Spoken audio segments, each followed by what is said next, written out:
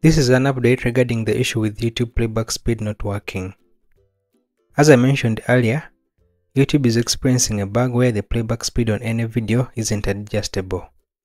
For example, if you were initially watching at a higher or lower speed and wanted to switch back to normal, the playback speed slider remains stuck at 1x and doesn't allow you to change to any other speed.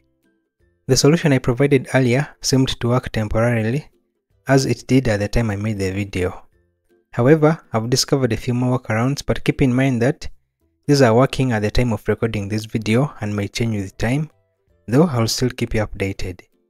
Now for the first solution, if you're using the app, start by updating it through the Play Store or App Store. After updating, you need to clear the app's cache by long pressing the app icon on your home screen, selecting App Info, then going to Storage and then you clear cache.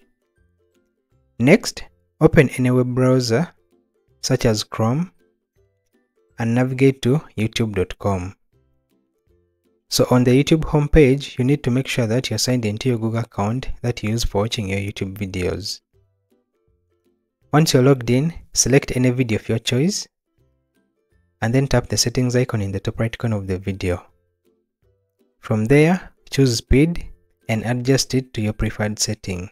So this should allow you to change the playback speed. Now if you still prefer using the app, here is the second option.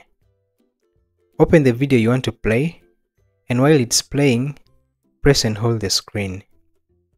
The video will then play at 2x speed, but the only challenge with this method is that the video will only continue playing at that speed as long as you keep holding the screen.